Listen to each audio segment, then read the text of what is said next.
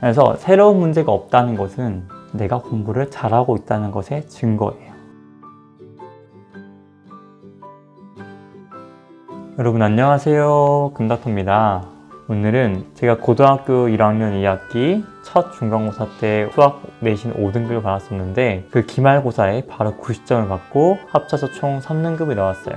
과연 50점에서 90점이 어떻게 올라갔는지 여러분들에게 드리도록 하겠습니다. 그리고 이 방법은 보통의 수학 5등급 이하 정도 분들이 쓰시면 3등급으로 가기 굉장히 쉬운 방법이니까 한번 따라해 보시면 좋을 것 같습니다. 보통 고등학교 입학 전에 어디까지 공부를 하시나요? 1학년 1학기 수학까지는 대부분의 학생들이 공부를 하죠.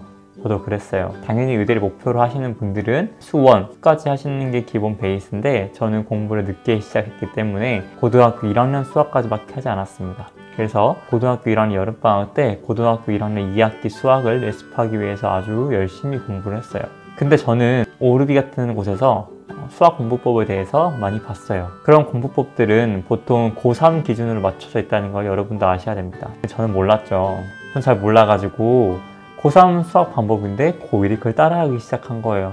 어떤 거였냐면 기본서가 굉장히 중요하다. 그래서 기본서를 열심히 봐야 된다. 저는 그 당시에 가장 유명했던 책 수학의 정석 두 번째 개념 원리 세 번째 숨만큼 나오되 세 개를 기본서로 가지고 어, 세 개를 풀었어요. 얼마나 웃겼냐면 예제를 1번을 정석을 풀고 그 다음 예제 개념 원리를 풀고 그 다음 예제 그걸 숨만큼 라운드를 풀고 그 다음 다시 유제를 풀고 이렇게. 말이 안 되죠. 말이 안 되는 저는 그게 맞다고 생각을 했어요. 학생 때는 모르니까요. 그래서 그 세 개의 문제집과 학교에서 지정한 지정 문제집이 있었는데 그거와 교과서만 가지고 공부를 했어요. 그리고 대망의 중간고사를 봤죠. 중간고사 보는 와중에 또 어땠을까요? 전 제가 잘하는 줄 알았어요. 근데 잘하는 줄 알고 문제를 푸는데 문제 하나하나 너무 예쁜 거예요. 아, 이 문제 너무 예쁘다. 수학 정석 이걸 참고 싶으면 되겠다. 말이 되나요? 그래서 이렇게 문제를 평가하면서 풀고 있는데 근데 대뜸 대뜸 이러는 거예요. 시험 감독관 선생님이 야 5분 남았다. 이러는 거예요 마킹 끝내. 이러는 거예요.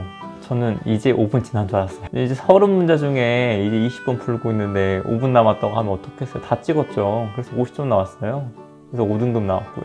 여러분들 이런 경험 해보신 적 있으시죠? 기본서가 중요하고 기본서만 푸시는 분들. 내신 시험 볼 때 문제가 너무 생소하신 분들 이 문제 신기하다. 라고 생각하시는 분들 분명히 있을 거예요. 저는 그 이후로 수학 공부를 할 때마다 그 선생님의 표정 잊을 수가 없어요. 선생님이 5분 남았다 할 때 제가 그걸 딱 들고 아 망했다 이랬거든요.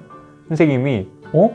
어? 아닌가? 하고 시계 다시 보시는 거예요. 왜냐면 제 표정이 너무 어이가 없었겠죠. 그 수학 50점대 점수는 제가 중학교 2학년 때 32점 받은 뒤로 오랜만에 받아본 점수라서 어, 굉장히 막막했습니다. 어떻게 공부할지 모르겠더라고요. 하지만 결국 저는 제 체질을 바꿔냈고 그 다음 기말고사에서 92점을 받고 당당히 평균 70점대로 3등급을 받았습니다. 바로 수학 잘하시는 분들이 싫어하시는 양치기입니다. 이 양치기에 대해서 보통 오해하시는 분들이 있어요. 수학을 많이 푼다고 잘하는 걸까? 아니다. 실력이 늘지 않는다. 당연히 실력이 늘지 않을 수도 있겠죠. 하위권 분들은. 하지만 하위권 분들 문제 유형에 대한 신기함을 느껴요. 아, 이런 문제가 있어? 이렇게 문제가 나올 수도 있어? 혹은 기본서만 풀어요. 교과서만 풀어요. 물론 중요하죠. 혹은 이런 신 분들도 있어요. 나는 기초가 부족하니까 중학교를 다시 공부할래. 중학교 도형 공부하시는 분들도 있었어요. 여러분 이러시면 안 됩니다. 5등급 이하는 양치기가 제일 중요하다. 가장 먼저 양치기를 할 수 있는데 중요한 게 뭐죠? 1번 기본서예요. 기본서는 단 한 권만 채택합니다. 이건 인강을 듣는 기본서가 아니고요. 수학의 정석 혹은 개념 원리 가지고 기본서를 정합니다. 무조건 둘 중에 하나가 제일 좋고 저는 수학의 정석을 골랐습니다. 하지만 수학 5등급 이하 분들은 정석 풀기가 조금 만만치 않겠죠? 일단 인강을 듣습니다. 이 인강 양 자체는 인강에서 정해진 양이 있죠? 정석도 그만큼 풀어야 돼요. 어딜 푸냐? 연습 문제 건드시는 거 아니고요. 예제, 유제 위주로 건듭니다. 특히 이 예제, 유제는 달달 외울 정도로 열심히 푸셔야 돼요. 틈나실 때마다 예제, 유제를 열심히 푸셔야 됩니다. 예제, 유제 풀고 정석, 연습 문제는 콜수만 푸세요. 바로 한 번에 연습 문제를 다 풀기에는 아직 우리 실력이 많이 부족하거든요.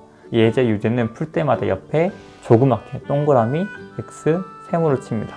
그럼 제가 얼마나 풀었는지 알 수 있겠죠? 자, 이렇게 한 단원이 끝나고 동시에 정석으로도 한 단원이 끝났어요. 인강으로는 그 다음 단원이 가겠죠?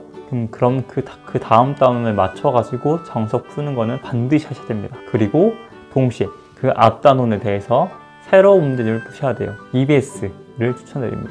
EBS의 문제집 중에 어, 고1, 고2, 고3을 위한 책들이 다 나와 있어요. 이 책들을 푸시고 학교 내신 문제 푸시고 2단원이라는 문제의 인강을 듣고 있으면 1단원에 대한 정석 외에 다른 문제집을 열심히 푸시는 거죠. 그 다음에 문제집은 총 3권을 풀어야 됩니다. EBS, 학교 내신 문제, 그래서 이렇게 정석과 세네 권을 풀다 보면 어느샌가 유형에 대해서 익숙해져 있어요. 그래서 우리는 시험 문제를 풀 때, 와, 신기하다. 어떻게 풀지? 이렇게 문제를 풀면 안 되고요. 보자마자 풀어야 돼요. 아, 이건 이렇게, 이건 이렇게, 이건 이렇게, 이건 이렇게. 하늘 아래에 새로운 문제는 절대 없습니다. 그리고 내신 문제집은 더더욱 새로운 문제가 있을 수가 없어요.